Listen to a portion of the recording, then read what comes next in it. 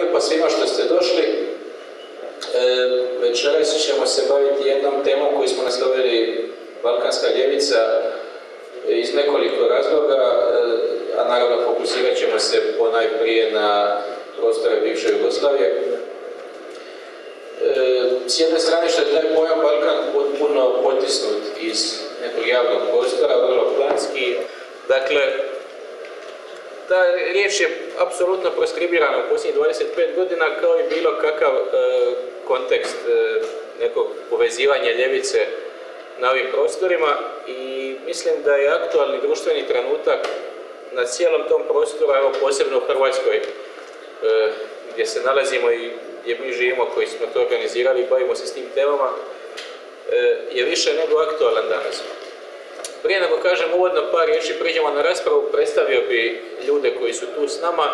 Ja sam ih vrlo rado sve pozvao i kao ljude koji čiji rad cijenim i koji tekako imaju dosta toga za reći vezano na ovu temu. Evo krenut ću da nikoga ne zakinem ovako po redu kako, kako ljudi sjede. Dakle, s desne strane je Vuk Perišić, kolumnist te portale, jedan po ovom sudu najbitnijih intelektualaca na cijelom ovom južnoslavenskom prostoru i da kako u Hrvatskoj, koji je, kako bih rekao, nekako nepravedno isključen, bar je, moj taj dojam iz, iz nekih e, mainstream medija, osim tog te portale, dakle i generalno iz nekog e, kulturnog javnog života, što po onome što piše svakako nije zaslužio. Nedavno je mu izašla u izdanju Frakture sjajna knjiga od Weimara do Vardara gdje piše dosta o ovim fenomenima e, i mislim da apsolutno ima što za reći o ovoj temi. E, pored njega je Tanja Petrović. Tanja Petrović je sveučilišna profesorica iz Ljubljane, odnosno znanstvenica iz Ljubljane sa Instituta za kulturalne studije i politike sjećanja. E, Tanja je za Beogradsku fabriku knjiga izdala nekoliko sjajnih, e, sjajnih tekstova. E, možda ključna knjiga koja je bitna za također njenu kvalifikaciju za to da večeras ima što pametno za reći ovdje je svakako knjiga koja je naslovila Europa. I tu je Nenad Porobić iz Beograda koji je sam rekao da ga predstavim, inače vrlo aktivan na nevladinoj sceni i uopće ovim borbama u Srbiji protiv rehabilitacije e, Draža Mihajlovića, Milana Nedića i tako dalje.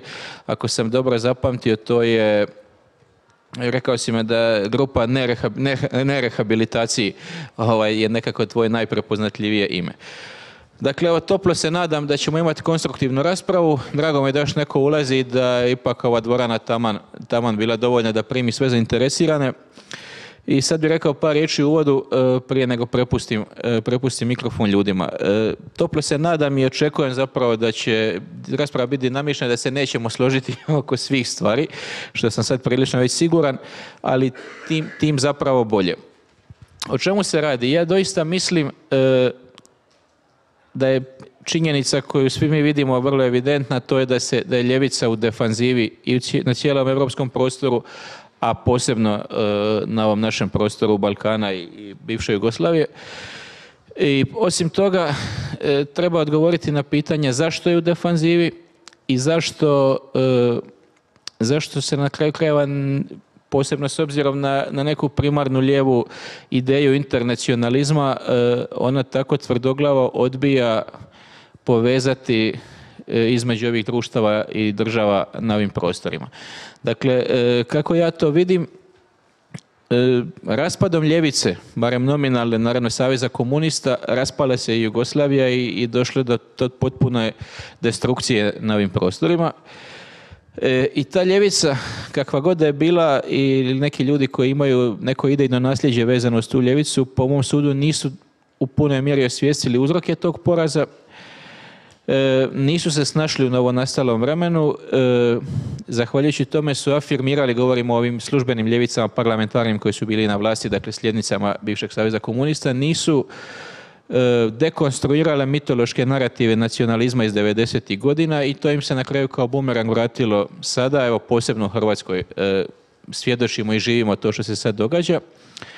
I zahvaljujući svemu tome, dakle, što e, je sve to skupa doživjelo takvu destrukciju raspadom ljevice, što ta ljevica nije osvijestila poraz, što nije razgradila nacionalističke narative i na kraju krajeva, zahvaljujući svim tim kompleksima, zato jer se nije međusobno povezala na ovom cijelom prostoru o kojemu mi govorimo, e, ja ne vidim kako će se e, ofanziva nacionalističkih stranaka zaustaviti ako do tog povezivanja na bilo kojoj razini ne dođe.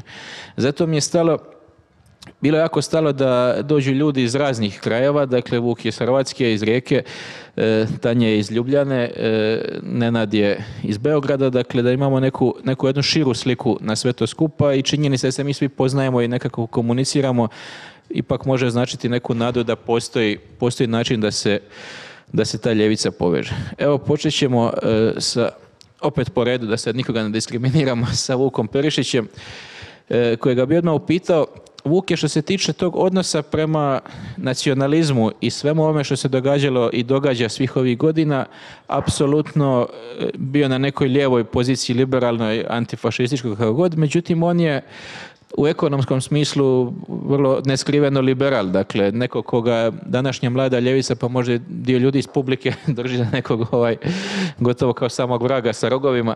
Pa evo, e, koji je tvoj stav o ovome što sam rekao u uvodu i uopće o potencijalu e, integracije ljevice i opće ljevice na ovim prostorima? Hvala. E, da bi kvalitetno odgovorio na tvoje pitanje, morao bih da napravim jedan manji, nadam se što kraći historijski osvrt. E, ljevica je na jugoslavenskom prostoru postigla epohalne, epohalne rezultate. I ostaće u povijesti kao jedan iznimno pozitivan faktor. Vodila je antifašistički rat, oduprla se staljinizmu, stvorila je jedno prosperitetno društvo, e, prosvjećeno, e, poboljšala je položaj žene, poboljšala je zdravstvenu zaštitu na jednom prostoru koji je, ne zaboravimo, bio užasno zaostao do 1945. Dakle, e, posjedovala je izniman moralni kapital. Taj kapital, faktor toga moralnog kapitala bio je i njezin, e, bio je i lijevi internacionalizam koga je gajila i dosljedan otpor nacionalizmu, barem njegovim radikalnim oblicima. I onda se desio jedan bizarni paradoks. U drugoj polovici 80. godina e, ta takozvana ljevica, institucionalna ljevica u Savezu komunista tadašnjem, prvo u Srbiji je podlegla nacionalizmu uzela ga kao svoj program i čak je bilo već se moglo 88. i 89. govoriti o fašizaciji Srbije. Do te mjere je e, ta ista ta ista partija koja je e, vodila antifašistički rat odnosno njezin srbijanski segment je podlegao je otišao u taj u taj jedan zastrašujući ideološki i moralni sunovrat. Tome se ubrzo priključila i slovenska partija koja je zastupala ideologiju samostalne Slovenije, da bi i nakon izbora u Hrvatskoj i hrvatski segment e, jugoslavenskog, jugoslavenske komunističke partije e, postao neka vrst saučesnika u restauraciji nacionalizma. E, to je jedan paradoks koga, koji još nije objašnjen i kome se tek trebamo baviti. Kako je moglo doći do takvoga zaokreta? Da e, internacionalizam koji je inače, ne samo u našem kontekstu, nego u europskom kontekstu, e, internacionalizam i antifašizam su bili najjači aduti ljevice. O, ljevica je bila utočište antifašizma i internacionalizma da bi postala kreator nečeg sasvim suprotnog. Ne zaboravimo i da, su, e, da je HDZ na neki način izašao iz e, komunističke partije. Kad pogledamo njegovo vodstvo iz 90. godina, to su sve bivši komunisti.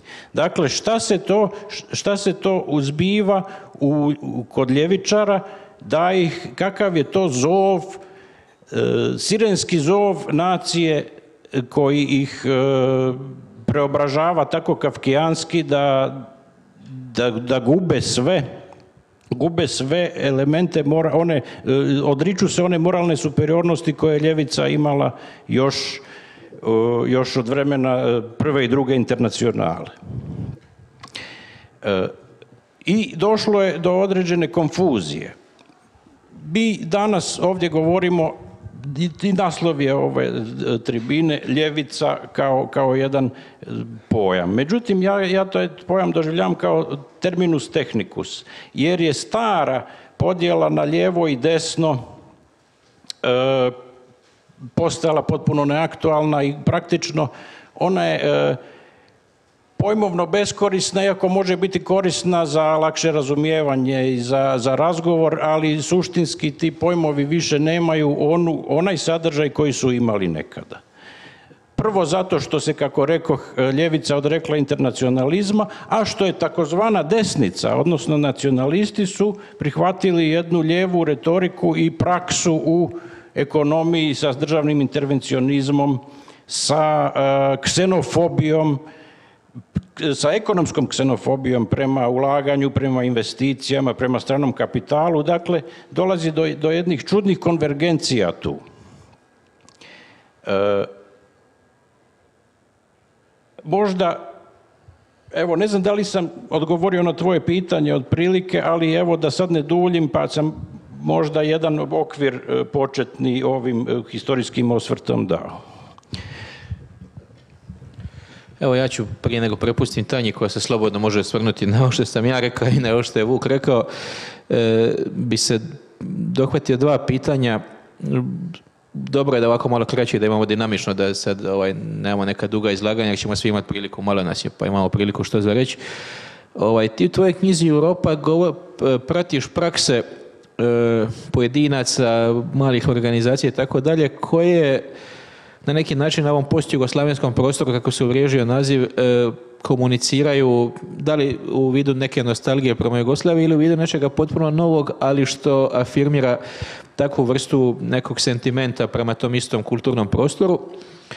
E, tako da je to jedno pitanje koliko je, to je naravno imanentno lijevim idejama, e, koliko je to vezano uz, koliko to ima potencijal da postane nešto e, integrativno u smislu e, lijevih ideja i drugo, kakva je situacija u Sloveniji koja je praktično jedina uspjela u svim ovim državama iznjedriti parlamentarnu stranku koja je ajmo reći, ljevija od nekadašnjih nasljednika Saveza komunista koja je ušla u parlament i koja je iznikla iz ovih prosvjeda radničkih koji su i studentskih koji su trajali od Maribora pa nadalje prošli godin. Hvala, ja ću probati da odgovorim na to, ali e, jako dobru polaznu tačku za ono što zapravo na početku želim da kažem je, je dao već Vuk govoreći o bitnoj istorijskoj ulozi levice u ovim krajevima, u ovim prostorima. I moj problem, odnosno problem na koji ja želim da ukažem je upravo to da uprkos nedvosmisleno, revolucionarno, jako bitnoj istorijskoj ulozi, jugoslovenska levica zapravo ne figurira u istoriji evropske levice. Kao pojam, kao legitimno, legitimna istorijska formacija. I tu mi se, čini mi se da je u tome koren problema koji možemo sagledavati kad govorimo o novim praksama levice na ovim prostorima. Ja sam, ja mislim da je e, zapravo kultura i svakodnevne marginalne prakse o kojima pišem u svojoj knjizi jako važna za ove stvari, ali čak i u tim praksama vrlo često imamo neku vrstu samocenzure. Jugoslavija i socijalizam u smislu, mi danas volimo da govorimo o demokratskom socijalizmu, većina novih partija ili pokreta koje žele da se, koji žele da se deklarišu kao socijalistički, osjeća veliku potrebu da se distancira od jugoslovenskog socijalizma kao takvog. Taj, tu ja vidim veliki problem iz više razloga. Jedan je razlog to što se na taj način jedno konkretno iskustvo miliona ljudi isključuje. Ljudi ostaju bez mogućnosti da se pozovu na sobstveno iskustvo ta revolucionar, revolucionarne društvene promene napreda koji se desio u drugoj polovini 20. veka pod vodstvom jugoslovenske levice desio se u socijalizmu. I kakav god on bio, za, za ljude je on značio konkretno, upipljivo iskustvo koje, koje je donelo naravno sve ono čemu danas uglavnom pokušamo da težimo. Socijalna država, socijalna sigurnost, besplatni vrtići, 8 sati radno vreme, sve ostalo. Znači, zašto je potpuno nemoguće pozvati se na sobstveno iskustvo? Taj problem je problem s kojim se mi danas suočavamo i problem koji u velikoj meri uh, onemogućava formiranje legitimnih subjekata na po poziciji levice u ovim krajevima. Čak i, čak i ti alternativci mladi tipa horovi koji pevaju partizanske pesme vrlo često uh, kažu da mi pevamo partizanske pesme, ali isključivo pesme koje su nastale u vreme drugog svetskog rata. Znači, govorimo o nekoj esencijalizovanoj ideji partizanstva, antifašizma. Kao da, kao da je to nešto što je potpuno odvojeno od onog što je onda bilo od 45. do 90. Kao da zapravo ti isti partizani nisu gradili državu koja se zvala socijalistička Jugoslavija. I na taj način dolazimo do velikog problema oko, ko, oko koga ćemo se verovatno danas dosta vrteti, a to je problem revizionizma. To su u suštini revizionističke prakse. Na neki vrlo problematičan način slične revizionizmu protiv kojeg se bori Nebojša u Beogradu ovih dana i inače. Znači, govoriti o antifašizmu bez partizana, govoriti o socijalizmu bez Jugoslavije je problematično. I problematično je i politički i problematično je za ljude koji pokušavaju da se legitimno, da legitimno zahtevaju određene stvari za sebe. Možda ću tu stati za sad. Samo o Sloveniji, molim. E, da, Slovenija, da.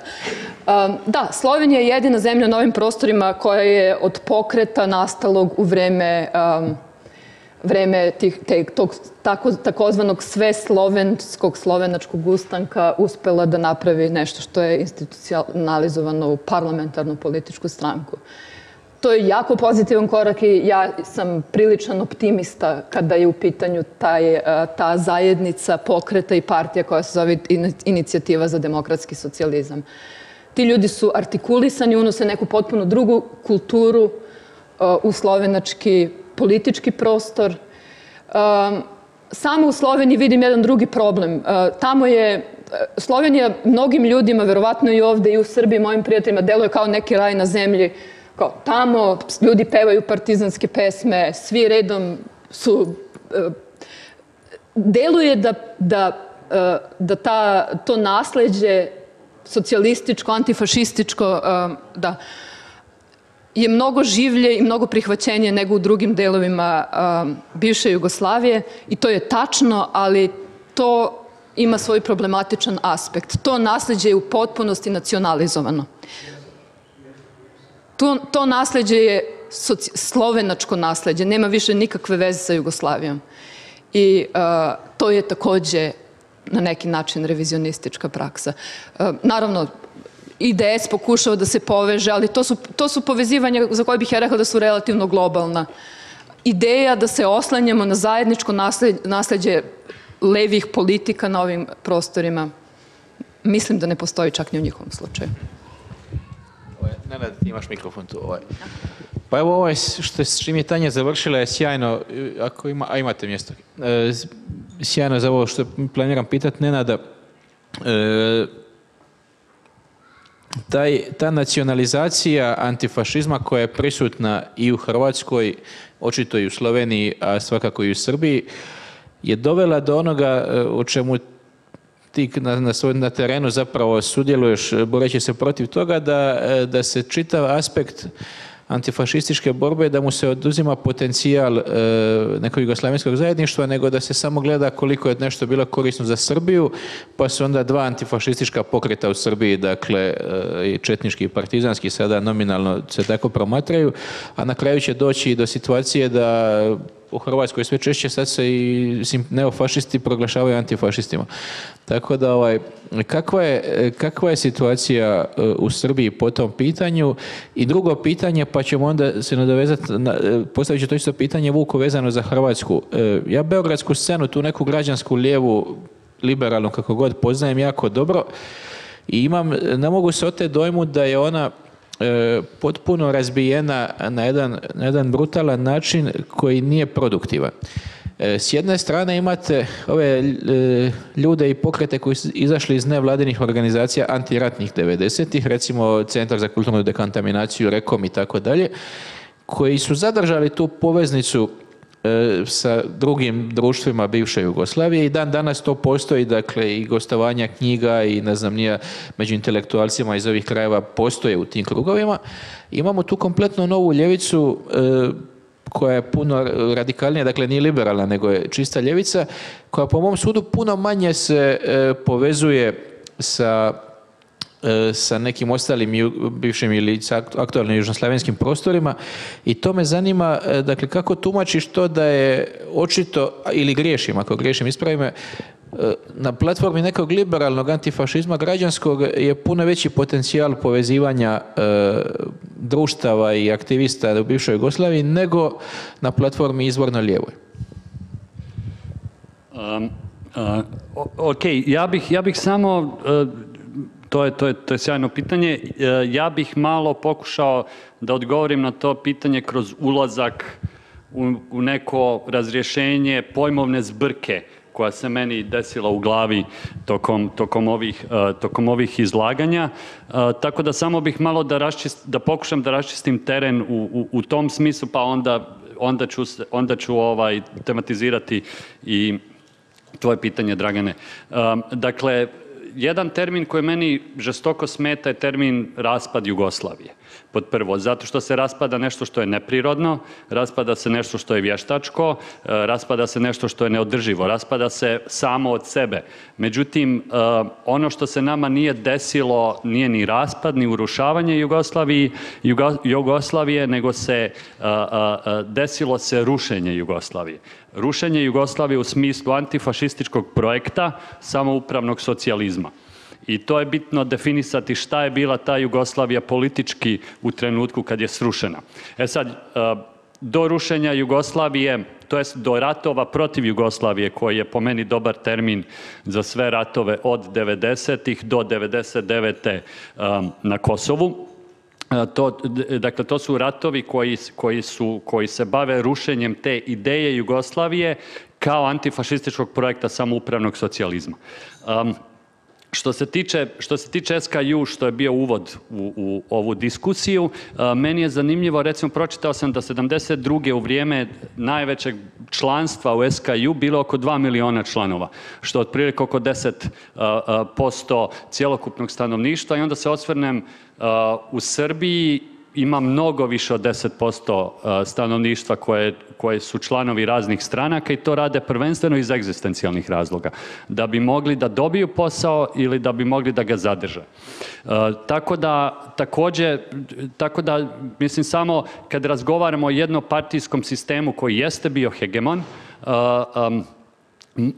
meni je zanimljivo da vidim koliko je recimo bilo mnogo više političkog pluralizma koji, koji se odvijao u takvom jednopartijskom sistemu. Dakle, ako, ako pogledamo, e, tu su bile fantastične rasprave, vrlo suštinske političke unutar te jedne partije, dok mi sad rasprave koje vodimo političke su mnogo, mnogo suženije u svom fokusu od onih koje smo imali prije. E, tako da pluralizam tog jednopartijskog totalitarnog režima pod navodnicima, što je uobičajeno liberalno čitanje, mi je zanimljivo usporediti sa ovom diktaturom vrlo fokusiranog vrlo fokusiranog društveno-ekonomskog okvira u kome se okrećemo, u kome se krećemo. Također mislim da je bitno poraditi na interpretacijama ratova 90-ih. Mi imamo određene interpretacije ratova 90-ih, međutim bitno je poraditi na drugim interpretacijama i mislim da tu je vrlo bitno poraditi na, na, na tim interpretacijama uzroka ratova, samih ratova i posljedica ratova, ali iz lijeve perspektive. Šta to znači? Ljevica trebali bismo i to definisati pošto razni ljudi koriste taj termin na razne načine. Pitanje ljevice i desnice je po meni prvenstveno ekonomsko-političke prirode, to jest pitanje svojinsko. Da li imamo društvenu svojinu ili imamo privatnu, privatnu svojinu? Da li privatni interes, da li je dozvoljeno privatnom interesu da radi šta god hoće, u ime, u ime profita, imamo sad primjer Beograda na vodi, ali možemo to kasnije da, e, da, da definišemo. Dakle, ako se bavimo ekonomskim uzrocima raspada Jugoslavije, možemo vidjeti da se stvari zatežu od 60-ih, kada, kada Jugoslavija ulazi uh, u tržišnu ekonomiju, to jest u otvoreno tržište. Dakle, tad već počinje pristupni proces Evropskoj uniji, uh, koja se tada drugačije zvala. Tu se pot, tu se pokreću razne centrifugalne sile, nacionalno pitanje se otvara, međurepubličko nadmetanje, e, neke republike su e, e, manje voljne da sudjeluju u, u kolektivu, to jest u stvar, pokušaju stvaranja jednakih, jednakih ekonomskih polazišnih tačaka, neke, manj, neke više i tako dalje i tako dalje. Ali to nadmetanje koje je u osnovi bilo tržišno je vrlo bitan faktor. Um, što se tiče urušavanja Jugoslavije, to jest e, rata protiv Jugoslavije, bitan je propast, bitna je, bitan je propast real socijalizma, to jest real socijalističkog bloka, istočnog bloka, bitan je prodor kapitalističke hegemonije, bitno je odigravanje hladno-ratovske dinamike u kojoj još uvijek živimo. Dakle, interpretacije urušavanja Jugoslavije, to jest rata protiv Jugoslavije su još uvijek hladno-ratovske. Um, šta, se, šta, se, šta sad znači ljevica sada? Um, podjela ljevica i desnica, kao što je Vuk rekao, jeste, jeste uglavnom besmislena zato što se, zato što se krećemo u okvirima buržoaskog parlamentarizma. Dakle, mi nemamo u osnovi postavljanje lijevog pitanja. Šta se dešava sa radničkom klasom, šta se dešava sa svojinom, šta se dešava sa diktatom privatne, uh, privatnog interesa. Um, sve stranke u Srbiji koje su nominalno ljevičarske, a počnimo samo od Slobodana Miloševića i SPS-a. Mislim, čovjek je bio bankar. Čovjek priča o tržišnoj ekonomiji, o potrebi da se uđe u kapitalistički uh, uh, način proizvodnje još 87 u jednom referatu. Uh, tako, da, tako da ako izvučemo te njegove citate iz 87. vidimo da je to u stvari liberalna ekonomska logika koju on zastupa. Um, ovaj, i, i putem tog parlamentarizma koji se odigrava u okviru građanskog, buržoaskog uh, uh, ili liberalnog, uh, čitav, čitav politički spektar kreć, skreće udesno. Dakle, mi nemamo nikakvu razliku što se tiče svojinskih pitanja, što se tiče osiromašenja, što se tiče protivnarodnih politika koje sve vlade od SPS-a do sad sprovode, mi imamo jasan linearni tok. Nemamo nikakvih razlika. Neke, neke neke ušminkane razlike se pojavljuju, ali ništa bitno. E sad, nerehabilitaciji je, je uh, uh, neformalna inicijativa koja se pokušava boriti protiv rehabilitacije u Srbiji, ali ne ispuštajući to pitanje, ne ispuštajući to pitanje svojinsko kao i kapitalizma koji se, koji se restaurira ovdje. Mi ne možemo da odvojimo pitanje rehabilitacije fašizma od restauracije kapitalizma. Nedićeva, poznati fašista, svima je jasno, antisemita, antikomunista, zločinac, koji je bio, koji ulazi u drugi svjetski rat kao fašista, kao već opredjeljen za, za, za, um, za ovaj, ispunjavanje njemačkih nacističkih zahtjeva, proces rehabilitacije kreće od njega prvenstveno od zahtjeva porodice za restituciju. Dakle, dakle oni koji su koji su podnijeli taj zahtjev za restituciju, to su bili uh, Srpski liberalni savjet, Udruženje političkih zatvorenika i žrtava komunističkog režima i porodica Nedić. Uh, možemo da vidimo politički šta to znači u, u, u smislu ko je za rehabilitaciju uh, fašizma. Dakle, naša stvarnost je definisana građanskom ideologijom, naša stvarnost je definisana buržoaskom osvetom koja se zasniva na kontrarevoluciji. Naša stvarnost je kontrarevolucionarna. I, i ovaj, um, ja mislim da to odgovara također na to pitanje zašto postoji takav jaz uh, uh, ne bih sad rekao da ja sad predstavljam neku novu ljevicu, uh, međutim ja vidim sve više ljudi koji se bave suštinskim ekonomskim pitanjima, koji su različiti od onoga što se, čime se do sad bavila druga Srbija. Pa e, tu si otvorio si naravno ovaj jako zanimljive teme gdje bi ja imao šta reći, ali vidim da je, znam da Vuk ovaj, je spreman da, da, da odgovori na dosta toga. Mene jedino e, zanima ovo zadnje, e, što mislim da nisi mi do kraja odgovorio, ne zato što nisi htio, nego što nisi stigao ili ti je promaklo. E, Slijedeći sve to što si rekao, kako je moguće da, da ta liberalna Srbija, koju ti očito smještaš također na ovaj, tu neku građansku ideološku platformu, doista e, ima potpuno normalne veze i doživljava ovaj prostor kao jedinstven kulturni prostor, a da ta neka, ne znam, doista lijeva, e, li- lijeva kretanje, lijevi pokreti puno manje komuniciraju s nekim, ne znam, lijevim pokretima u Sarajevu ili, ili, ili u Hrvatskoj ili u Sloveniji i tako dalje, osim na nekim marginalnim susretima. Dakle, barem ja ne znam, ako, mislim da ne, ne zna ni veliki dio ljudi za te kontakte i tu komunikaciju. Pa, da, e, ja bih rekao da, mislim, htio bih da izbjegnem esencijalističko, em, esencijalističku osudu čitavog liberalnog bloka, kao što je problematično pričati o ljevici danas u regionu, tako je problematično pitati o čitavom, e, e, ovaj, tematizirati liberalni blok. Međutim, ono što po meni je dobra razdjelnica između ta dva pojma je da li se bavimo ekonomijom ili ne. Ako se ne bavimo klasnim pitanjem, to ne može biti ljevica. Dakle, e, e, tako, da, tako da, da ti samo odgovorim oko Mi bi se ovoga. mogli oko toga složiti, ali onda je pitanje možemo li biti ljevica ako nismo internacionalni, barem na razini e, prostora koji govori istim jezikom. Ne, ne, e, apsolutno ne. Dakle, što se tiče, što se tiče dobrih internacionalnog povezanosti e, e, različitih e, inicijativa nevladinog sektora koje dolaze iz liberalnog političkog okvira, to je stvar fondova. To je stvar, dakle, imaju, imaju što se tiče bavljenja ratom, što se tiče uzroka i posljedica ratova, liberalni blok ima apsolutnu hegemoniju u tom smislu. Ekonomski, ako hoćemo da se bavimo, a, ne postoji hegemonija zato što, zato što se ne, od- ne odigrava se hladnoratovska podjela. Dakle, ne bismo htjeli da prihvatimo a, evroamerički a, am, okvir interpretacije ratova da bismo imali neke fondove. Dakle, ova recimo, recimo neformalna inicijativa u kojem sam ja, tu nema apsolutno nikakvih fondova, niti projekata, nema pisanja izvještaja, nego samo pokušavamo politički da se bavimo pitanjem nerehabilitacije. E sad, ja se ne slažem Stvarno nisam ovdje predstavnik nikakve nove ljevice, pošto ni ne, ne znam šta to tačno znači, um, ali uh, bit, će, bit će jedan od panela na Subversivu će biti baš ljudi iz organizacija, ovaj Balkanski forum.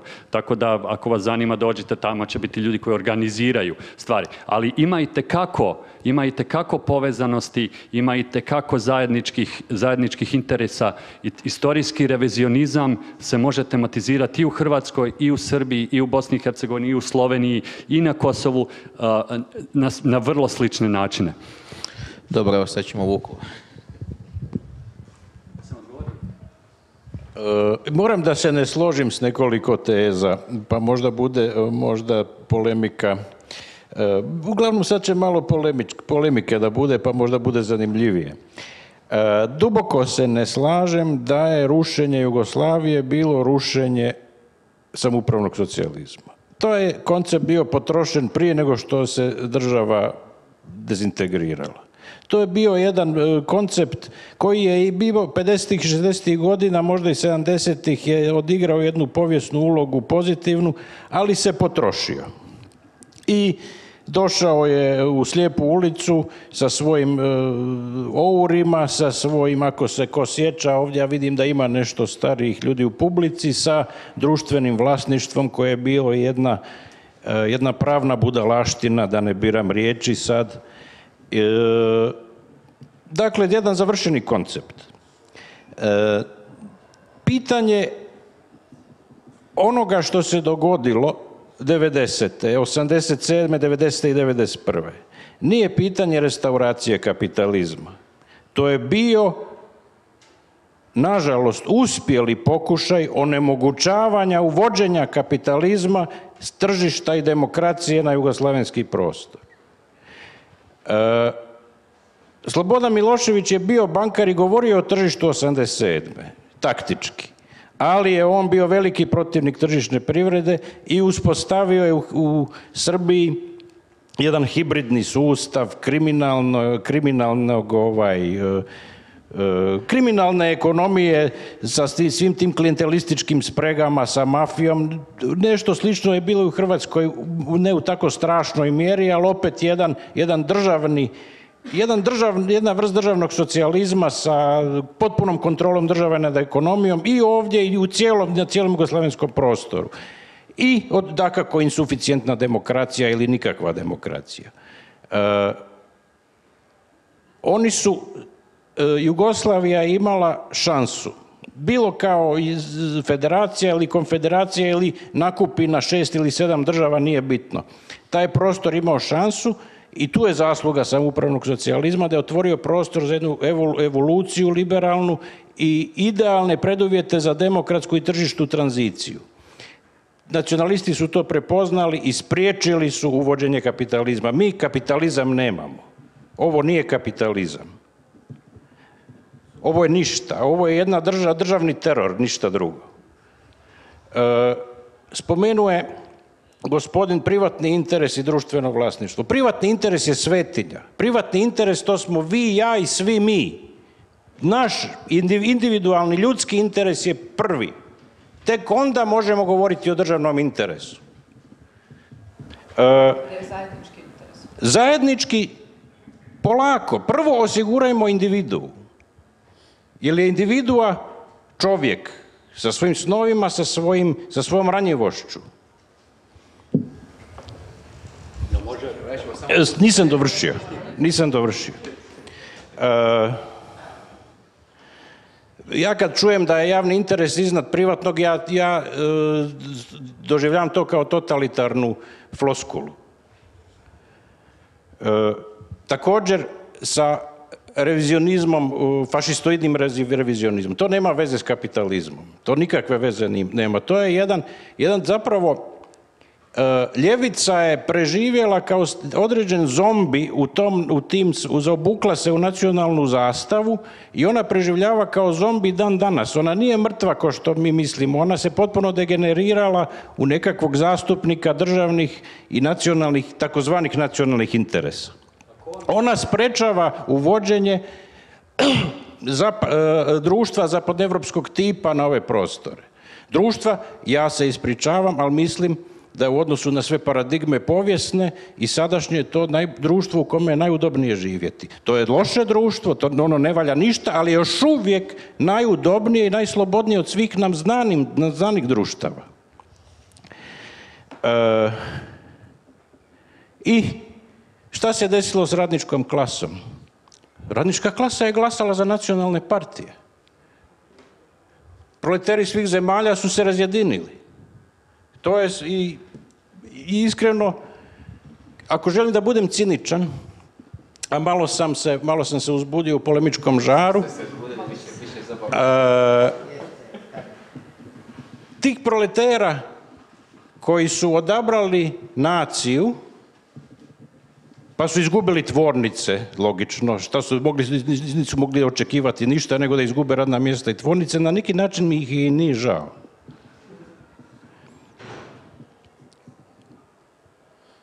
Eto toliko za sad, pa da prepustim, da. Ispričavam se, ali mogu se ubaciti malo. Ma- Malo. Vuk kaže da je e, e, e, privatno vlasništvo svetinja, a javno vlasništvo da je budalaština ili društveno vlasništvo. Društvena Pa, budalaština. Ja bih, ja malo sam iskusniji od gospodina Vuka, ovaj, ja bih rekao da je to što je gospodin malo prije e, e, pričao, da su to budalaštine uglavnom. Eto. Apsolutno, Da, ja, a, nadam se da ću moći malo... ja bih volio da se, i sad se radi rasprava, ovaj, a Da. publika će imati sigurno pola Ma da, sata na kraju, jer sad ako sam vi, to možemo se neko drugi. Ja sam sad u početku da nismo ovdje da na učimo, da, biti, da raspravimo Na neke kraju ćemo stvari. imati vremena za raspravu, ali ovako možeš Ok. sad šoku, Ok. pa smo kompletno izgubili. Ovaj. Moram malo. S nekim stvarima sad moram ja naravno duboko da se ne složim, što mislim da je bilo očigledno.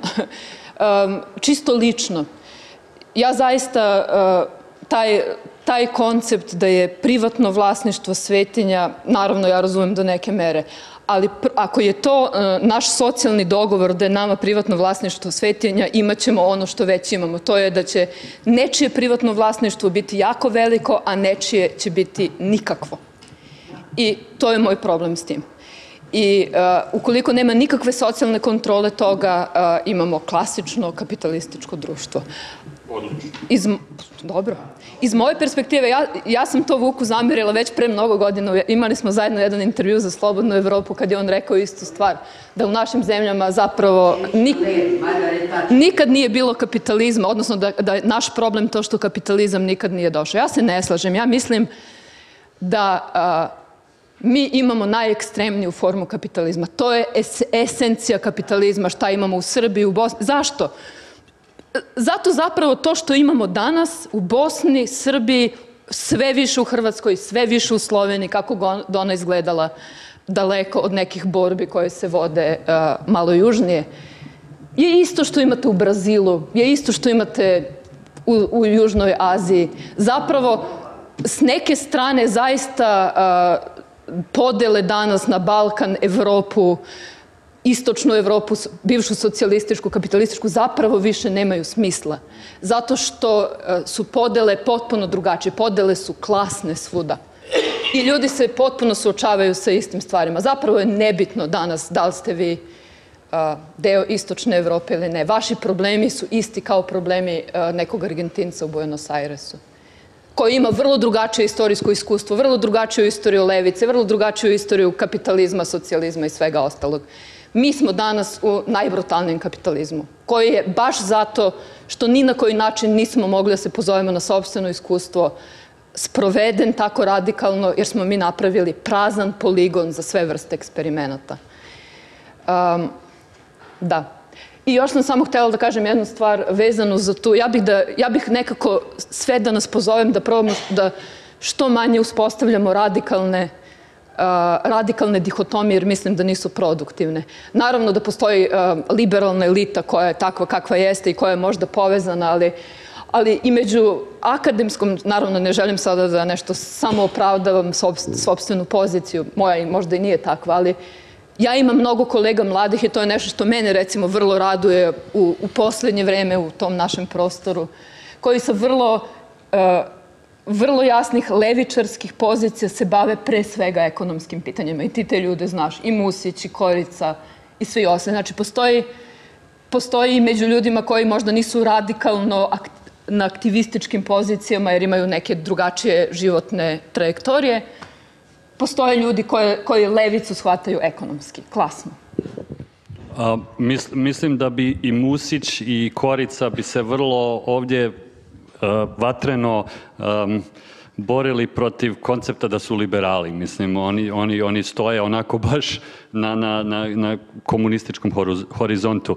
Samo bih, samo bih da tematiziram par stvari. Dakle, Teško mi je opisati koliko duboko se ne slažem sa većinom stvari koje, koje, koje ste naveli.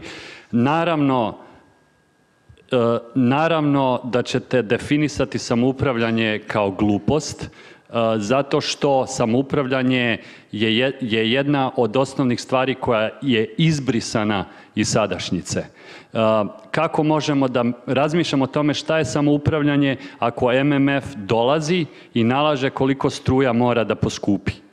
Samoupravljanje ne može da postoji u takvim okolnostima. Svaka ideja samoupravljanja mora da se ubije u korijenu. Zato što živimo u kolonijalnim vremenima, a, ono što smo naučeni je da ne smijemo razmišljati o kolonijalizmu.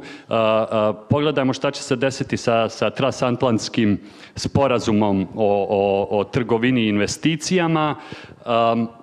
Dakle, čekaju nas, čekaju nas još mnoge, mnoge borbe, ali ono što, ono što bih samo naveo da, da to jeste odraz, to jeste odraz buržovatske stvarnosti u kojoj, u kojoj živimo kada kažete da živite u najudobnijem uh, um, sistemu, uh, a u isto vrijeme su oko nas žice. U isto vrijeme, u isto vrijeme mlate izbjeglice koje su proizvedene od sistema u kojem živimo. Um, dakle, ne bavimo se imperialističkim ratovima, ne bavimo se, ne bavimo se milionima ljudi koji, koji dolaze ovdje da u osnovi podnesu zahtjev vratite nam ono što je oteto, a to je hiljadugodišnja kolonijalna istorija Europe. Um, kako možemo da, kako možemo, nisu samo izbjeglice koje, koje, um, koje su, ko, mislim, kojima se ne dozvoljava da, da, da dođu ovdje, imamo također um, i mnoge, mnoge druge primjere um, ne znam, baš mi je, baš mi je baš mi je teško u stvari odgovoriti na ovo zato što uopšte ne razumijem sistem koji vas vodi da, da zaključite takve stvari. Um, ono što mi smeta, a to mi žestoko smeta, je zbacivanje krivice za ratove na radničku klasu. Ratove su osmislile, sprovele elite, akademske, intelektualne, dakle, molim vas samo da ja završim, akademske, intelektualne i to su ljudi koji su još uvijek na visokim pozicijama, dakle Miloševićeva privatizaciona klika još uvijek vlada većinom ekonomskih resursa u Srbiji.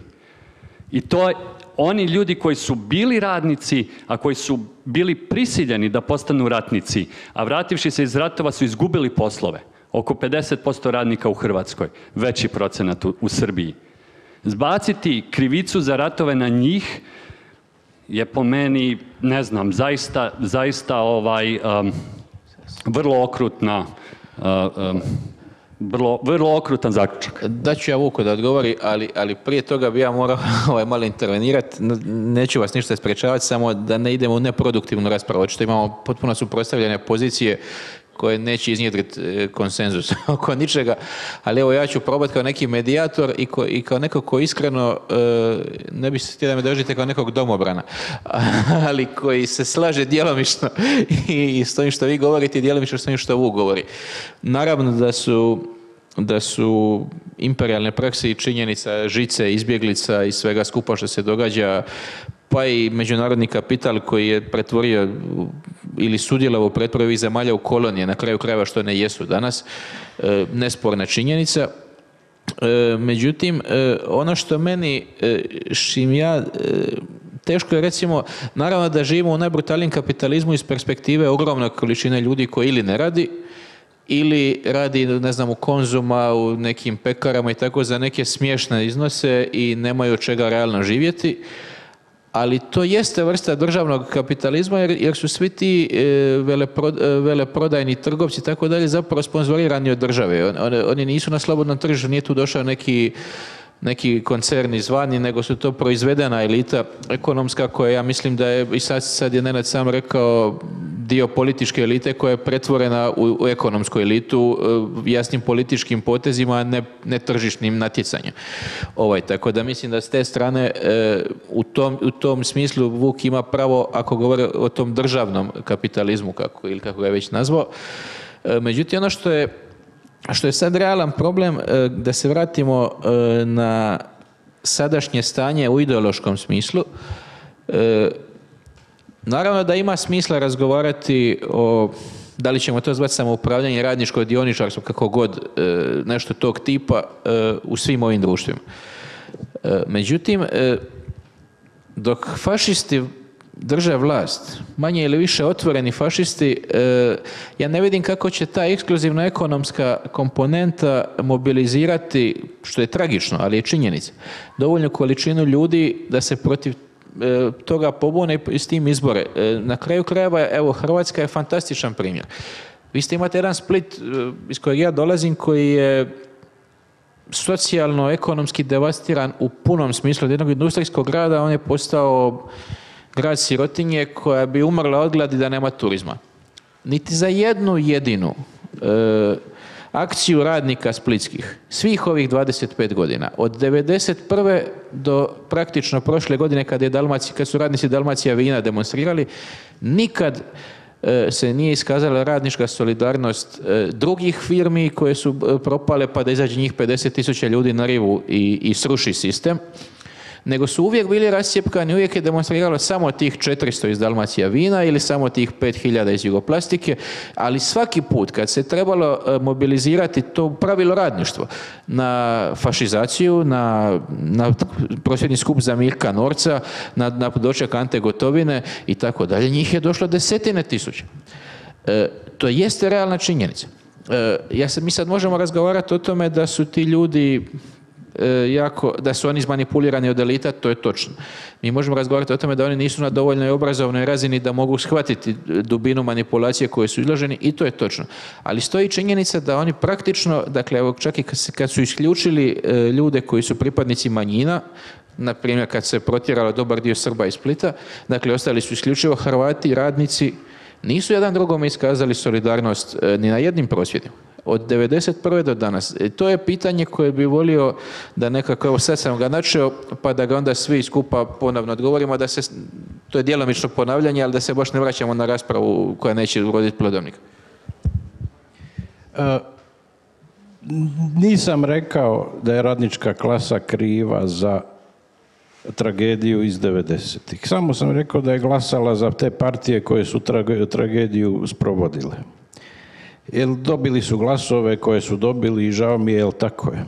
I ovo što je Dragan rekao, pitanje proletarske solidarnosti je ne samo u, našim prilikama, nego je uvijek zatajilo kad je trebalo doći do izražaja. U prvom svjetskom ratu su socijaldemokrati mislili da radnici neće pucati na radnike. Pucali su. I kako su pucali. Pucali su i u drugom svjetskom ratu i uvijek će pucati. Jer e, taj kult proletarijata koji, je, koji se razvio u krilu marksizma je jedan mit koga bi možda trebalo dekonstruirati. E, nego, spomenuto je privatno vlasništvo. Zašto je privatno vlasništvo? Zato što ako je privatno vlasništvo svetinja, onda u dva, ako ga društvo promovira u svetinju i ako ga država štiti, onda vam ne može niko doći u dva sata ujutro i uzeti stan. može u kapitalizmu. Nije ovo grubi kapitalizam, nego stvarni kapitalizam.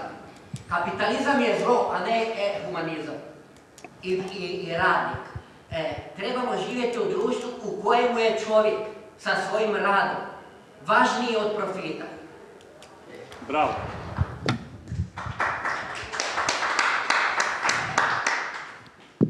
Privatno vlasništvo štiti sudbinu. Ako je zaštićeno privatno vlasništvo, onda ja tanji ne mogu uzeti ovu tašnu. Ako ono nije svetinja, onda uzmem tašnu. Jer ako neko može uzeti tvornicu, može uzeti bilo što. Može vam uzeti stan. Vaš vlastiti stan koga ste upisali u zemljišne knjige, ako privatno vlasništvo nije svetinja, vlada donese uredbu da biciklistima se oduzimaju stanovi. Eto. Zašto biciklistima? Ne znam. Ako zbog privatnog vlasništva neko bude imao više, a neko manje, i ako onaj koji ima više je to pošteno stekao, zašto ne? Svaka mu čast. Idemo.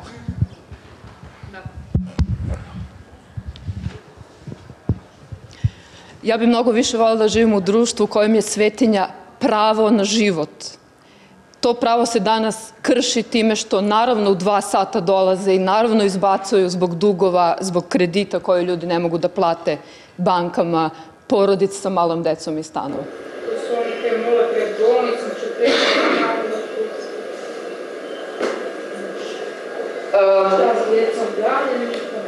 Da, mislim, možemo naravno da razgovarati o tome, nema proletarskog uh, uh, nema proletarske solidarnosti, nema proletera zapravo. Zar postoji klasni identitet radnika danas? Ja bih se sad uključio, nastavić slobodno, čujete me, ovaj, to je pravo pitanje. Kako je moguće, i ja bih i tu da se vratimo na temu ovoga, kako je moguće da imamo 45 godina, e, kakav god da je bio, e, sistem ili sustav koji promovira e, solidarnost i bratstvo među jugoslavenskih naroda, koji promovira samoupravljanje i koji 45 godina ima monopol na vlast i da mu se onda vlastiti građani, evo, elementarna solidarnost ne postoji u jednom Hrvatskom, čisto Hrvatskom splitu. Ovaj, e, kako je, gdje je tu, to je što propust ljevice. To je zašto sam ja htio e, da razgovaram o tome, jer ja mislim naravno da je desnica, e, desnica je vodila ove ratove, desnica je opljaškala narod Đakovinu kako god i privatnu nacionalnih manjina i tako dalje, ali da nije bilo e, tako debakla ljevice zapravo, koja, koja je vlastite građane očito nije odgojila u smislu da poštuju te vrijednosti, toga svega ne bi bilo. Da, je značajan broj građana bio na toj strani, e, onda bi postao neki partizanski pokret u ovom ratu. E, a nije ga bilo. Ja sam vidio sve nacionalističke pokrete osim, osim antifašističkog u punom smislu te riječi. Evo pa. Pričali smo na početku, Vuk je pričao o tome i to apsolutno stoji, da ta stara jugoslovenska levica je prelako, prebrzo, sa previše entuzijazma kupila nacionalizam svuda. I to je naš najveći problem. Ali zapravo naš još veći problem je što su svi kupili taj nacionalizam. Ne postoje akteri osim naravno nekih marginalnih, mada ja i sa njima imam veliki problem, zato što zapravo su se i oni dali pre ili kasnije. Ukoliko baš nisu kupili nacionalizam, odbacili su sve, uključujući i internacionalizam i sve tekovine socijalizma, jer su se zapravo kao disidenti protiv njega borili. Uh, Slovenija, civilno društvo u Sloveniji, Rezultat civilnog pokreta u Sloveniji je 25.000 neslovenaca izbrisanih iz svih e, oficijalnih registara, znači ljudi koji su ostali bukvalno uzetih života. To je potpuna pobeda nacionalne države i mi u toj realnosti živimo. I nema drugog identiteta osim nacionalnog koji će nekog danas da mobiliš. I to je naš, naša tragedija. Um, pa, uh, samo, bih nešto htio da navedem što mislim da je vrlo bitno i vrlo suštinska stvar. Kada govorimo o privatnom vlasništvu i o društvenom vlasništvu govorimo o sredstvima za, za proizvodnju. Dakle, ne govorimo o tome da će neko uzeti tanji tašnu, nego govorimo o tome da ako Tanja radi, svakodnevno Tanja je ta koja odlučuje šta će da bude sa viškom vrijednosti. Dakle, niko ne dolazi i oduzima televizore i automobile. Dakle, to je jedan od ideoloških mamaca koji nam se baca u ovdašnjem sistemu da bi se diskreditovala bilo kakva alternativa. Kao što je Margaret Thatcher još davno rekla there is no alternative. To je ono, to je ono što... Samo, samo da završim, molim vas, ja sam vas saslušao. Hvala. Um, ovaj, ako se bavimo fašizacijom, moramo se baviti ekonomskim uzrocima iste. Dakle, ne možemo se baviti fašizacijom, a da, a, da, a da zaboravimo šta je to što proizvodi. Kao što se sada bavimo izbjeglicama, a ne razmišljamo uopšte šta to proizvodi te izbjeglice. Odakle oni bježe, od čega bježe, ko prouzrokuje takvo stanje tamo gdje žive. Dakle, vrlo je bitno, ali mi, mi jednostavno smo izbacili sve uzroke kroz prozor, mi smo nauku izbacili kroz prozor, sve se svodi na neke individualne dojmove o tome šta se dešava u svijetu i svačije mišljenje je validno. Mislim, to je ono proizvodnja besmisla na nivou svakodnevice. Um, što se tiče kulta proletarijata koji ste vi naveli kao mit, ja bih samo da podsjetim da je proletarska klasa izborila se za revoluciju i to je ono što nam nedostaje iz NOB-a, iz antifašističke borbe, a to je koncept revolucije. Zato smo se školovali, zato, što, zato, zato smo imali besplatno zdravstvo, zato smo imali uh, uh, uh, obrazovanje, zato smo imali mnogo manju nejednakost nego sad. Tako da svesti to na jedan mit koji je omogućio dostojanstven život velikoj većini stanovništva u socijalističkoj Jugoslaviji, ja mislim da je to vrlo revizionistički čin. E, sada, zašto nacionalno e, e, preuzima primat? Jednostavno da bi se izbrisalo klasno pitanje i da bi se spriječila internacionalna solidarnost. To imamo, to je vrlo, to je vrlo, vrlo vidljivo što se tiče istorijskog revizionizma u Srbiji gdje se dakle, gdje se klasna borba, a to je borba koja je povela u borbu protiv četnika koji su branili monarhiju, koji su branili kralja, koji su branili sistem uh, um, sistem uh, uh, u, kraljevini Jugoslaviji povela ih je u borbu, a to je pitanje, to je pitanje u stvari klasno. Um, sada se to tumači potpuno drugačije. Sad zato imamo dva antifašistička pokreta u Srbiji. Imamo pitanje nacionalnog pomirenja To je sve ono što gura politika stranaka koje sebe deklarišu kao ljevičarske, kao što je recimo demokratska stranka, koja je izglasala zakon o rehabilitaciji, koja je izjednačila partizane i četnike. Sad imamo rehabilitaciju Nedića. A u čemu je poenta? Poenta je u tome samo da se izbrišu bilo kakve drugačije analize političke sadašnjosti od nacionalnih. I to je taj krug iz koga mi moramo izaći, moramo reći dosta sa nacionalnim, hajmo potražiti druge instrumente analize i političke borbe. E, pa evo s tim bi se naravno ja zadnjim složio i to se isto praktično događa u Hrvatskoj gdje se sa službenih instanci, naravno sad više HDZ niti to, niti ih to zanima, ali recimo SDP to radi uporno, priznaje antifašizam, ali u onoj formi zavnoha e, dobila se Istra, Dalmacija i tako dalje, obranilo se od neprijatelja, briše se taj socijalni e, potencijal revolucionarni i briše se e, jugoslavensko zajednička borba i iskustvo. Ali sad da se ne vrtimo, imat ćemo još 15 minuta pa onda da krenemo, jer očito će ljudi imati nešto reći iz publike, ovaj, da budemo produktivni malo, e, a na tragu svega ovoga i na tragu teme o Balkanu. Kamo dalje? Sad to naravno općenito glupo pitanje na prvu, ovaj, međutim, ako je jedna Grčka kao neka zemlja pred potpunim bankrotom u Europskoj uniji i očito cijeloj Europi ponudila neku e, idealističnu alternativu koju smo se mnogi od nas veselili, e, možda Vuk nije, ali, ovaj, ali, ali imat će pravo to, to, to i reći. Ovaj, dakle, ako je ponudila tu e, pobjedu Ciprasa i pobjedu Siriza i tako dalje, i onda je opet ta Siriza i Cipras elegantno kapitulirala pred istim tim zahtjevima, dakle mogao je pobijediti bilo ko od ovih e, nominalno konzervativnih ili socijaldemokratskih partija, iako je nakon te Ciprasove e, odluke, nakon što mu je na referendumu narod dao povjerenje da zapravo odbaci to sve skupa, opet on glatko pobjedio na izborima, a recimo Varoufakis i ta grupacija je ostao ispod praga.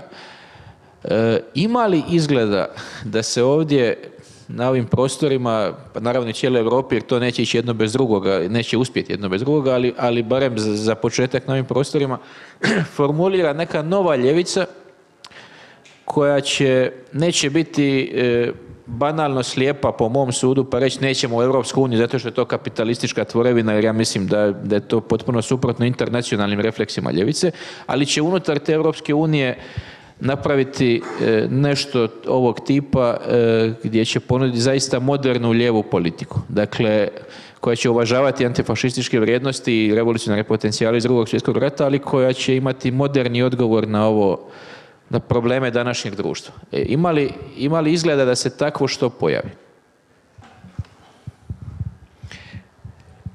E, nema. A zašto nema? Zato što se moramo dogovoriti oko kokoške i jajeta. Je li fašizacija jugoslavenskog prostora posljedica kapitalizma ili pa se onda moramo glasno boriti da raščistimo sva ostala pitanja ili ćemo se osloniti na historijsku pouku da je fašizam radikalno antikapitalistički politički pokret i ideologija. Radikalno. Hitler je mrzio burzu više nego Stalin. I to i čak je komunizam nije toliko antikapitalistički koliko je bio, koliko je bio ovaj fašizam jer je komunizam racionalna ideologija ipak i priznavao je nekakve, čak se koketirao je s tržištem sa onom, nažalost, neuspjelom kod nas reformom i 65. i tako dalje.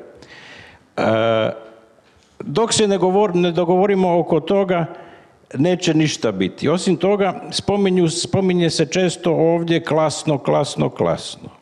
Nasuprot nacionalno. Pa nisu li to i klasa i nacija jedne sumnjive kolektivističke konstrukcije kojih bismo se trebali osloboditi i početi razmišljati kao pojedinci.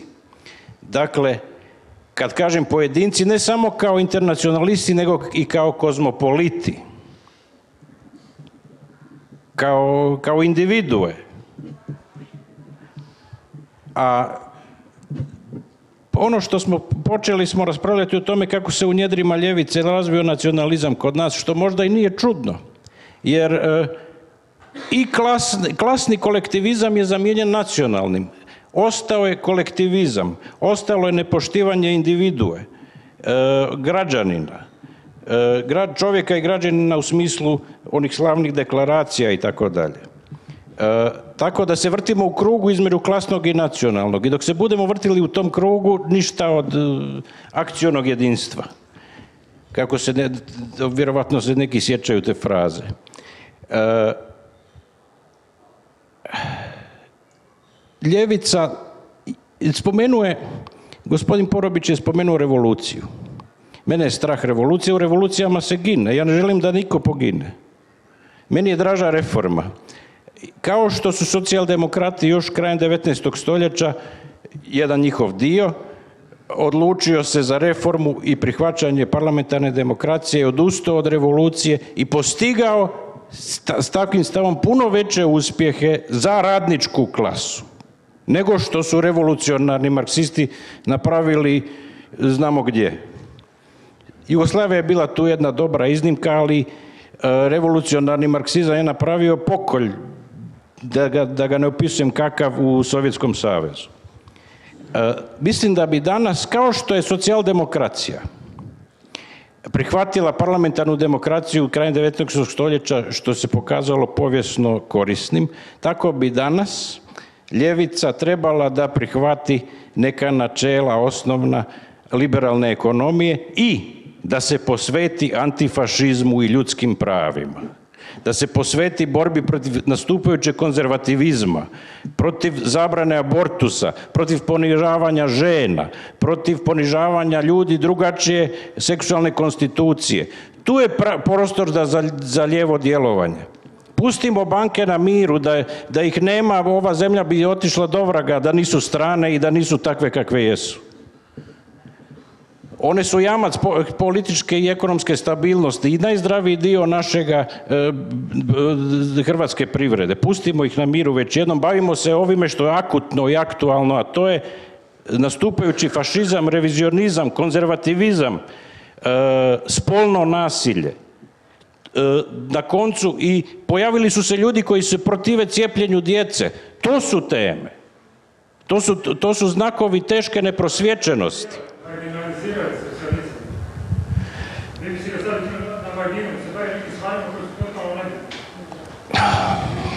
E, nisam vas čuo, jeste u zadnjem redu, možda ćete poslije biti u prilici da, bi, da postavite pitanje. No, još da, Evo. Još da Tanja i Nenad Evo. završe, pa ćemo otvoriti raspravu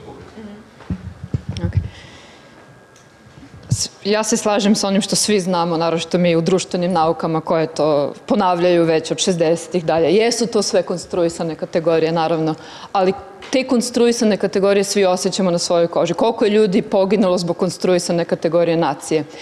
Um, ne znam da li možemo da ostavimo klasu. Aha, da. Um,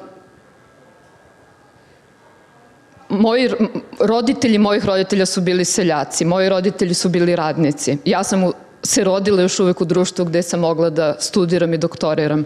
Moji mlađi rođaci, deseta godina moje sestre od tetke i stričeva, to više apsolutno ne mogu. I e, ja mogu da budem kosmopolita. Neko ko je ostao u mom selu u Srbiji i nema posla i nikad ga neće dobiti i ne može da se mrdne iz tog sela će jako teško biti kosmopolita i pojedinac tu ja imam problem s, s tom inače vrlo privlačnom idejom koju apsolutno podržavam. Da se vratim na, možda samo još na Draganovo pitanje koje su alternative. Ja mislim da su jako važni mali koraci. Mislim da moramo da, da počnemo da razmišljamo u malim koracima. Um, Isto tako, pitanja koje, koje je, je Vuk e, naveo i ponižavanje žene, sve su naravno jako bitna i vrlo se važno protiv njih boriti. Pre neki dan E, inicijativa za demokratski socijalizam je povela e, vrlo intenzivnu kampanju u Sloveniji da se smanji e, PDV na higijenske proizvode za žene, na uloške i takve stvari. To je ukoliko razmišljamo o tome koliko ima žena koje ne, ne mogu da priušte osnovnu higijenu zato što je skupa, zato što im je finansijski nedostupna, vidimo gde je veza između dostojanstva i, i banaka, da kažem naj, najbanalnije i najdirektnije. Um, moj lični utisak gledajući gledajući realnost u Srbiji iz koje dolazim i koju dobro znam i u Sloveniji koja se više, sve više približava toj realnosti nažalost je da da treba tražiti alternative izvan države. Možda baš zato što mi imamo državni kapitalizam. Da jednostavno uh, ljudi moraju da se povezuju između sebe. U selu gde, gde je moj tata sahranjen nedavno, groblje izgleda kao deponija. I tamo 80% ljudi ne radi ništa. Ali im neće pasti na pamet da se organizuju to groblje očiste za jedno prepodne. Zašto? To je pitanje kojim se moramo baviti. To je pitanje koje ima veze i sa Evropom i sa tim šta se desilo sa socijalizmom i u tom pitanju ja vidim odgovor na to zašto levica ne sme da prestane se bavi i socijalizmom i tekovinama jer se radi o tome da ljudi moraju ponovo sebe da počnu doživljavaju kao političke i društvene aktere. Oni to danas više nisu. Previše su poniženi, previše su na margini. Hvala ti Dragane što si spomenuo Grčku zato što je to baš bio drugi primjer uz, uz, uh, um, uz ove reakcije na, na izbjegličku krizu koje dolaze, koje dolaze iz, uh, iz centara moći preko represije koja se odvija na, na periferiji Evropske unije. Ja bih samo napomenuo da, da jeste e, e, fašistički režim, nacionalsocijalistički režim jeste bio deklarativno protiv kapitalizma, ali recimo nacistička Njemačka je prva sprovela masovnu privatizaciju javnih, javnih usluga. I čak i riječ privatizacija je pomenuta u ekonomistu 50. godina prvi put da bi se opisalo to što su nacisti radili u Njemačkoj. Dakle, kad, to, kad sam, to kad sam uvidio, potpuno mi riječ privatizacija ima sad drugačiji smisao. Um, uh, reforman protiv revolucije. Uh, rekli ste da se u njima gine. Pa recimo, do sad je poginulo 40.000 40.000 ljudi koji su se pokušavali domoći evropskog tla. Oni su nebitni, pretpostavljam. Pa ginu, dakle ginu zbog, na, ginu, ginu, ne, ne, ne, ne, samo, molim vas, ginu, u, ginu zbog kapitalističkog uh, uh, zatvaranja tržišta. I to je to. Dakle, pričamo o otvorenom tržištu, a imamo potpuni monopol privatnog interesa. To nema veze sa otvorenim tržištom, što se dešava. E, banke, sav profit odlazi, ne znam koliko je miliona evra izašlo iz Srbije, e, od kojih su profitirale inostrane banke.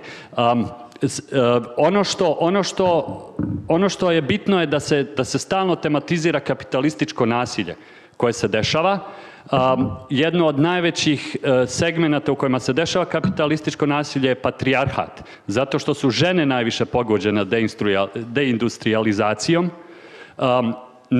Rad za koje, su bio, za koje su bile plaćene se seli u domaćinstva i pretvara se u neplaćeni rad zarad reprodukcije radne snage unutar kapitalizma.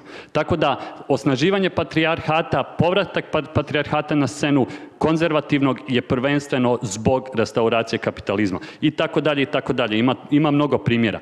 Međutim, ono što mislim da, da je bitno napomenuti, država, e, država odumire.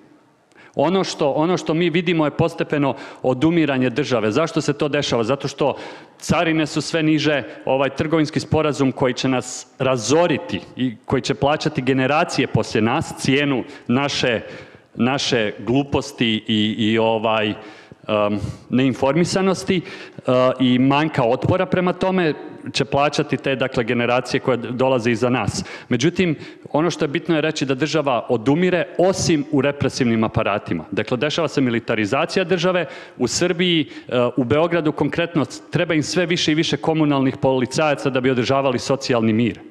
Zato što ljudi neće da plaćaju autobuske karte koje su im više skupe, zato što ljudi dolaze sa periferije grada da bi uh, uh, servisirali srednju i višu klasu, a nemaju para da plate to, zato što su apsolutno eksploatisani. Dnevnica je jedan, najniža moguća dnevnica u Srbiji, zakonski definisana je 1 euro na sat. Pa vi vidite kako ćete živjeti sa tim. Dakle, najniža na svijetu. Uh, uz Rumunije tu negdje blizu.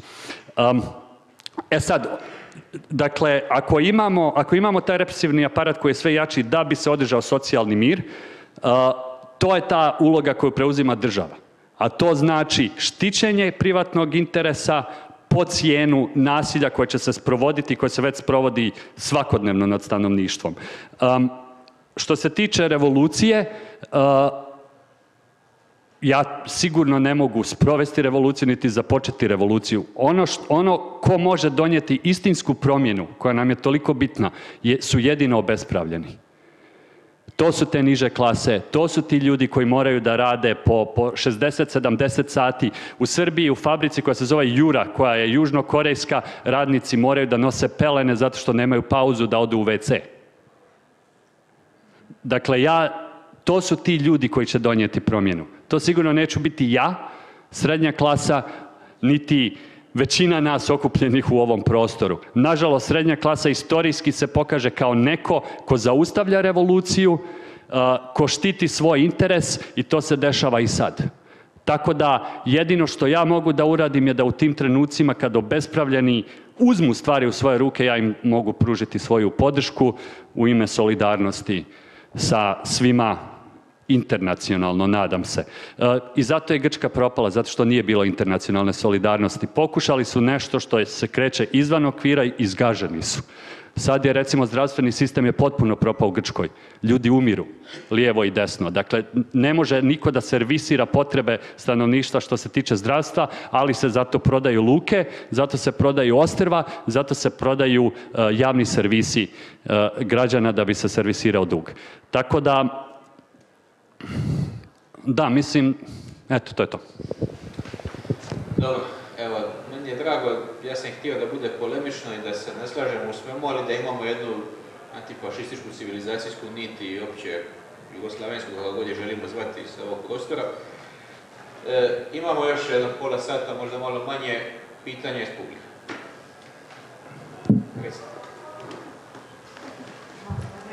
A, na, Svi su na ne žucu, rade malo bežični, pa probajte malo glasnije.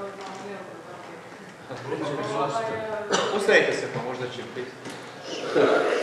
Dobro, ja se dakle smatram to dijelom tog nekog dijela pokretom i samo neka kronologija kako sam ja to, kako su mi rekli, kako iz mojeg iskustva. Dakle, za vrijeme HDZ-a, kad je došao HDZ, civilno društvo je bilo usmjereno na nekakvu antiratno djelovanje.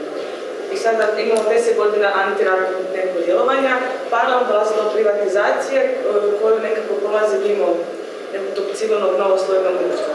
Nakon toga, nekom paralelno isto dolazi borba za ljudska prava. Jer se treba puno stvari uspostaviti ili formalno i sve to i udruge i tako to. Tek negdje oko 2009. godine e, kreće slovenska blokada, tek tada kreće e, neka ta politi- politička priča u smislu postavljanja u kojem mi ekonomskom sustavu živimo. Tek 2009. godine počinje se pričati javno o tome što je uopće kapitalizam. E, I sad tu se stavlja ta neka, ajmo reći, progresivna ljevica koja, se, e, koja je postavila pitanje ekonomije i s čim mi biti baratamo danas. Paralelno, nakon par godina dolazi do civilnog društva svača, da naprosto ne može se ni jedna promjena napraviti, jer ne znam, borimo se za Varšavsku, a kako ćemo dobiti za neki javni prostor, kako ćemo mi uopće dobiti support širok, šire javnosti, ako uopće se ne bavimo, ako na primjer, zašto neko je nezaposlen, zašto će se on sad zavara sa tri stabla koje će Todorić uh, sravnati ili ne, znači uglavnom potrebno dakle približiti se radnicima i to nekoj uh, temi koja biti uh, o, o, o nekako jako puno ljudi. E, sa, sa tom temom se do sada bavi, znači te neke ljevice se bavi sto, e, sto ljudi, go- govorim okvirno. Znači jako malo broj tih ljudi. Ono što meni smeta kada se ovako kao e, dođe iz nekog sa strane i kao gdje je ta ljevica, E, i više se ona se vraća diskusija nekakvu Jugoslaviju ili na nešto, kad, a, a u biti danas se bavi sa, takvim stvarima, ali užasno malo. Znači, mi danas na subverziju koji danas kao neki lijevi e, festival, e, mi moramo ponovno propitivati neke e, definicije šta je kapitalizam, šta je opće proletarijat, a kamo kako kad je to na borbi, ne znam, na, na svakodnevnoj razini, pa na razini države, kako, se uopće čujete što nema internacionalne poveznice, kad u biti ljevica, užasno malo da se bavi samo sa jednom temom, ne znam, sad danas je bio prosvjed e, za vrtić zato što ima jako malo e, vrtića u Zagrebu, općenito u Hrvatskoj. To je tema koja ti se, 24 sata neko se mora baviti sa tim. Internacionalizam u ljevici danas e, nešto potpuno to samo ili političke elite koje se smatraju nekim ljevičarskim krugom mogu pričati uopće o tome ili e, neka iluzija o jednoj ljevici koja bi trebala doći, imamo ne znam, Grčku kao primjer da to baš nije samo tako ljevica, ne znam, e, doćemo na vlast, ne znam, to je sad u Sloveniji, e, kako kažem, lagano, to je više zbog e, konačnog populističkog, e, opet oživljavanja socijalističkog, e, e, kažem, e, diskursa koji je totalno ono zatran i sad mi trebamo, ja se slažem, dakle, i da se krene i parlamentarno, ali ono što se kad se priča o ljevici, ono što on- oni koji rade neke te- temelje i ona ljevica u pozadini i svaka promjena mora imati svoju nekakvu bazu. A do te baze koma doći ti sto ljudi, znači ne može, jer stalno se postavlja neki ti ljudi koji su čuli tu ljevicu se smatraju lijevo, pa kao šta gdje je ta ljevica? Nema, jer civilno društvo isto nema vremena za bavljanje sa tim e, s nekim ekonomskim pitanjima. I druga stvar, kućanstvo prolongiranosti, solidarnost nije to stvar neka inherentna čovjeku kao jesu oni sebični, ove radnici nisu e, e, solidarni, e, solidarnost se organizira. Znači, vi ste stariji od mene i onda znate da i dijete se mora naučiti da pomogne. Nije da se rodiš i, i nekome pomažeš, Dakle, imali ste, isto kao što očito u, toj Jugoslaviji, znači, znači svi su učili marksizam i sad kod je ono izašlo iz glave, ali svi pričamo o da je bitna edukacija, nekako to, očito mehanizmi su užasno jako protiv toga i, i sad vi postavite pitanje gdje je solidarnost. Sindikati su totalno, znači oni isto dijele ljude, radnici neće dodati što su ono, izgubit će posao, I sad zaključak da solidarnost nije inherentna kao da ne postoji, to se organizira, nije solidarnost, e, evo, mislim da sam sad... Ovaj, e, ma, e, ja mislim, evo ja ću, ako imaš ko se uključiti, Rado, ovaj, ja mislim da ste tu postavili dva paradoksalna problema gdje sve ste iskazali što je činjenično točno, dakle, nema tu greške. Međutim, e, bilo koji aktivizam od 100, 200, 500 ljudi koji se bori protiv jedne konkretne teme, neće promijeniti suštinski ništa u društvu ako se paradigma tog društva ne promijeni. Ako nema internacionalne priče, ako se ne uđe u parlament, ako se ne dođe do realne društvene moći, jer će vas pomesti. Naprosto nema, e, držat će vas za sto redikula e, ili 200, jedno vrijeme ih možete strašiti, Varšavska ih je prestrašila jer se skupilo dosta ljudi, ali na kraju su pobjedili. Ja vam hoću reći da je da naprosto nema e, nikakve promjene bez aktivne političke borbe. Aktivna politička borba mora dobiti običnog građanina koji nema u glavi e, te probleme i treba ga uvjeriti da, da ti problemi naprosto su bitni da, im, da ih treba pomoći. Po mom sudu E, teško ćemo ostvariti ideju ljevice u situaciju koju vam katolička crkva klerikalizira društvo iz dana u dan. Dok ne obračunate s tim, a da bi se s tim obračunalo, treba osvojiti vlast. Ili treba napraviti takav pritisak na vlast da izbace vjeronauk iz javnih škola. Ovaj, pa to nije ljevica, to smo cijelo vrijeme pričali upravo o tome. E, bez, bez društvene moći, ekonomske moći, političke moći, medijske moći, e, će ti pokreti ostati razbijeni na stotinjak ljudi. E, to je ono što ja mislim da je činjenica. Ne, ne, ne vidim kako će se to promijeniti. Može. ja apsolutno razumijem vašu frustriranost i, ovaj, i, i, i- sam je dijelim. Uh, međutim, što, što više čitam dobre stvari naspram loših stvari kojima smo bombardovani svakodnevno, uh, razumijem koliko je, koliko je uh, problem kompleksan, ali u isto vrijeme vrlo jednostavan. Dakle, hegemonija kojom smo mi obasuti svakodnevno nije za podcijeniti. Um, ako nešto može da nam probudi nadu, to, to je izučavanje kako su neoliberalni neoliberalni škola ekonomska, kako su oni preuzeli hegemoniju već na svjetskom nivou. Mislim, to kreće od 70. godina u, Čikaš- na Čikaškom univerzitetu. Tako da, očigledno je moguće sprovesti hegemoniju u nekoliko decenija ako se ima jedan ozbiljan tim promišljenih ljudi. E sad, Naravno da im- ima gomila problema, partikularizmi su jedan od tih problema, dakle mi univerzalno zaista nemamo više način da posmatramo stvari univerzalno, ali ako pogledamo šta se dešava na svjetskoj razini, um, većina stanovništva na svijetu se suočava ili sa ovakvim ili sa mnogo većim problemima. Tako da samo, samo je bitno ne širiti defetizam u ovom trenutku, čini mi se.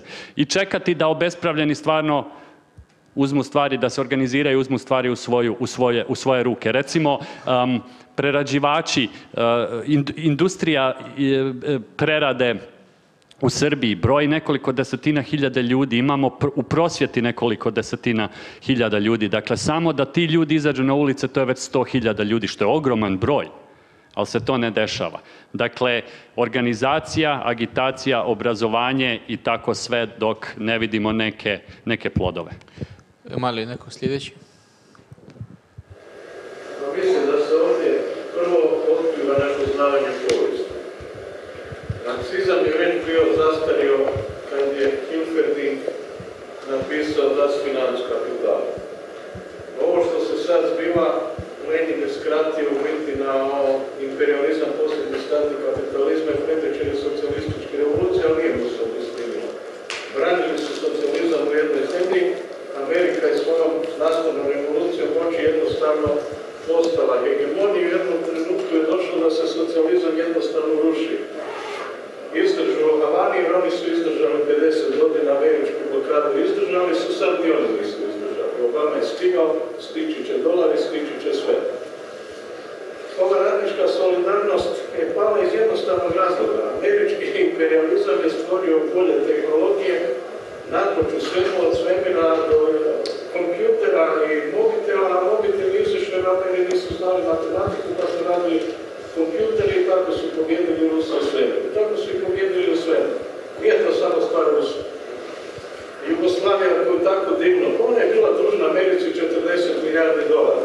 A rat je ovdje izbio tako što su razne stanice počeli priču, ovi su pravi, ovi nisu pravi. U jednom trenutku su znali što se događa u Tuzlanskoj banci, pa je bilo na radio, a odjednom kad je bio rat počeli su se svi pravi mutan i reći, joj šta je ovima, bili su kako dobre komšije, sad svak svakog mlati. Grčka, Grčka je željela živjeti na tuđi način. A sad je Europa jednostavno zgazila. Nikakav to socijalizam ne pomaže.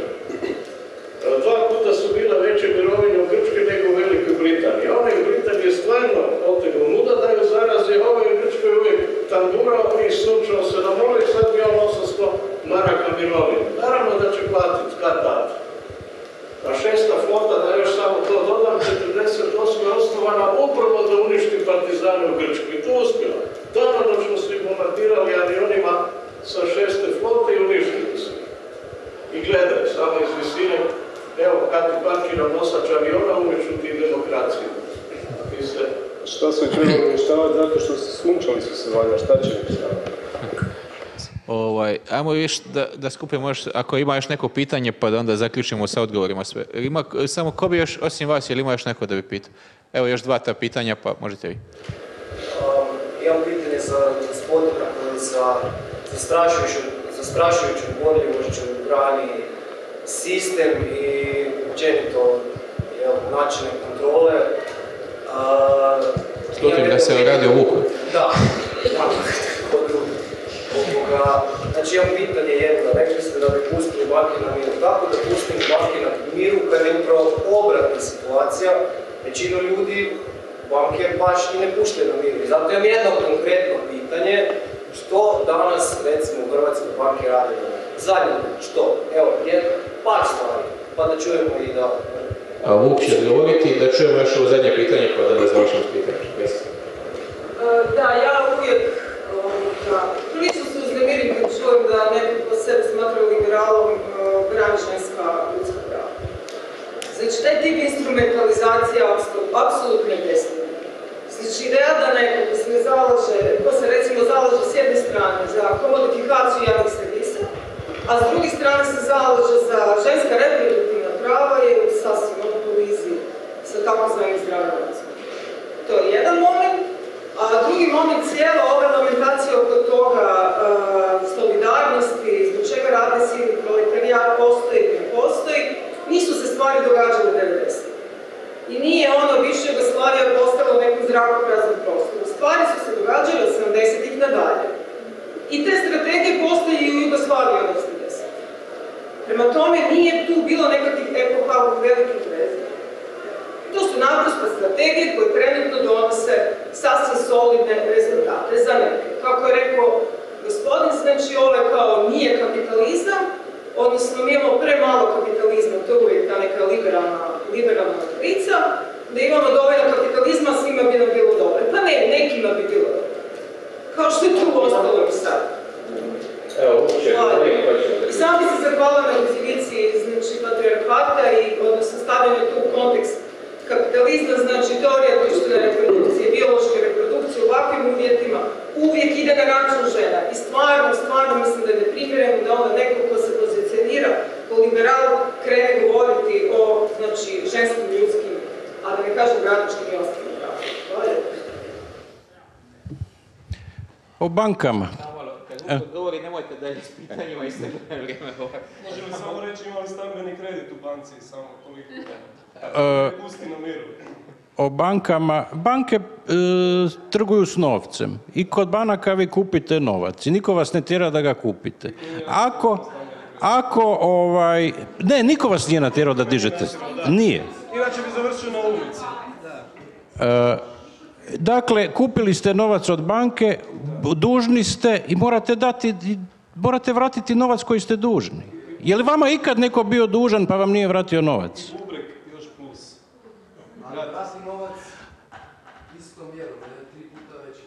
A, kamata je cijena novca, po definiciji.